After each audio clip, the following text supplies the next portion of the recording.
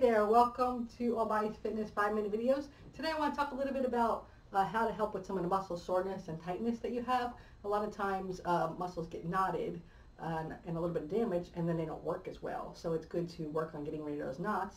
And you can do a self-massage rather than having to go uh, get a massage sometimes to, to grab those muscles and help them out a little bit. So I want to show you a couple ways to do that.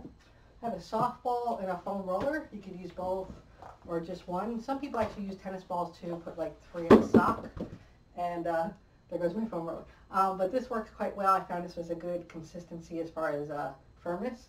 And a lot of times do this on a chair. I even have some clients do it on a sofa. And say your hamstrings uh, felt really tight and they weren't working very well. You go under them and you roll around on that ball and find the spot. And sometimes you have to move the ball, obviously.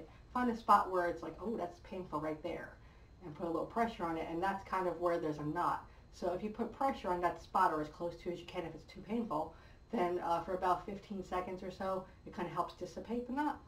So you find it and then you might have to go around and find another one. There's a lot of them sometimes. You have to be patient with this and give it some time. I just found one right there. So I'm going to hold on to that for a moment. And it actually feels really good uh, while you do it. It's like a, it's, it's pain, but it's kind of like that massage pain where it's like, oh, I feel like it's helping the muscles right? And you obviously do both sides. Um, and the foam roller sometimes, hi Tiger, that's Tiger. Foam roller is really good sometimes to work on some of the bigger muscles as well. And if you get down to the floor, of course, you can do your calves here. Good way to do them is to put one leg on it and the other leg on top of the leg you're working on to get a little more pressure. All right. Depends on how bad the knot is. Like if I found one right here, I kind of have to brace myself and get up on it a little bit to get a little more pressure and push down and feel that knot and help dissipate it right there and hold on to it, right?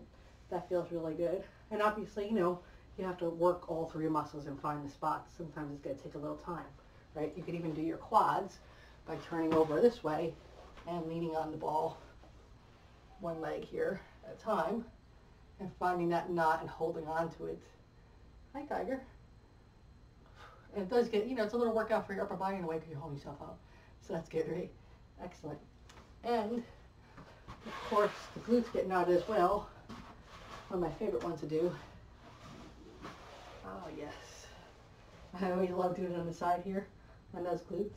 And again, you know, your own body weight provides the, the little bit of pressure that you need, depending on how, you know, how hard it is. You can always get up and, and try and put a little more weight on it and hold on to that spot for about 15 seconds or so. Now it's a little hard on the floor sometimes to get the upper back and, and shoulders. I really like to use the ball for that on a wall. So let me show you that. And again, you can use the foam roller on a wall if that's all you have, but it's just a little bit cumbersome. Make sure your hair is out of the way. Get into your rear shoulders here and then lean on the ball. Move it around until you find a spot. Again, you have to watch your hair if you have long hair. Find a spot that is kind of tender. Try and hold on it and push into or go near as possible. And sometimes you can actually move through a little bit of range of motion while you're holding it too to help loosen things up, right? And that actually feels really good. I have a lot of clients who get a lot of tightness in their, their traps and such. So actually we'll push down on the ball for them because sometimes it's hard to get that angle right there, right? You can push into the wall a little sideways. But that actually will feel really good to loosen up those muscles with doing that. And you can even do your pecs by laying on the floor or on the wall, like so. It's a little awkward sometimes. People will be like, what are you doing? Oh yeah, I just found a, a good knot right there on my pecs. And you hold on to it and let it dissipate that knot so that the muscle can work better. And you'll find all places where, oh, I didn't even know I was sore there, right?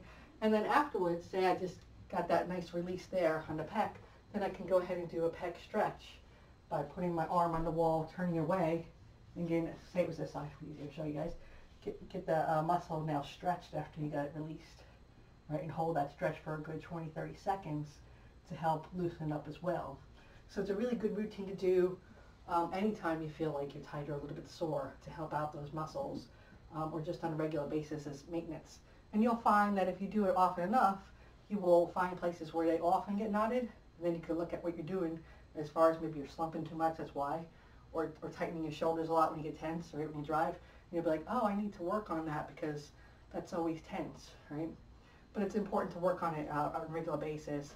And it'll get better, like anything else, just like your flexibility if you keep working at it, right? So I encourage you to do so. If you have any questions, please send me a comment below or an email. I look forward to hearing from you and please subscribe to my channel.